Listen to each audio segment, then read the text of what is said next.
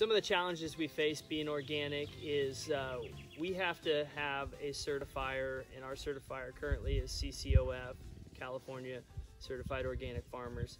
And we have to have that certifier verify everything we do on the farm. And, you know, the when they're verifying us and they're they're checking out all of our uh, inputs and they're they're checking out what seed we use and all of that, that little bit of scrutiny is benefiting the end consumer. And even though it's difficult as the farmer, having somebody go through all your stuff and you know really really scrutinize you, that all becomes a benefit to the end consumer, and that's that's their goal is to make sure that nobody's doing anything nefarious and nobody's you know telling you know telling you they put one thing in and doing another. So so they put you under that that little bit of scrutiny so that the end consumer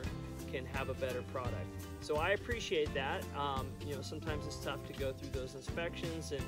and worry about all that, but at the end of the day, if we can get a superior product and that superior product has organic on it and people in the stores can feel comfortable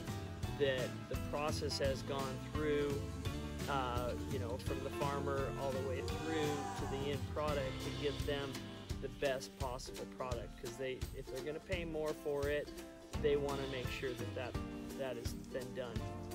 part of the hang up that we have though as a farmer is when we, we go through all the scrutiny and we get all that done on the farm and then we want to take our animals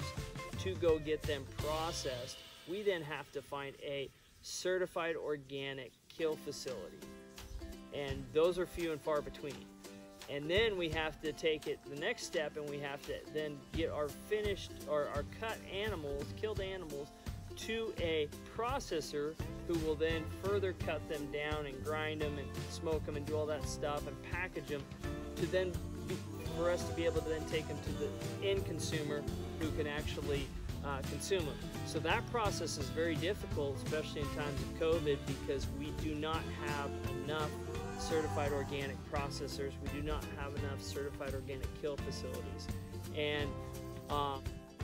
one of the, the challenges that we faced recently is to be able to find them and, and be able to get that done uh, semi-locally and not have to ship stuff back east or you know wherever processor might be available and that's been a huge challenge recently um, due to all the COVID stuff and, we're, we're, hoping that uh, we can find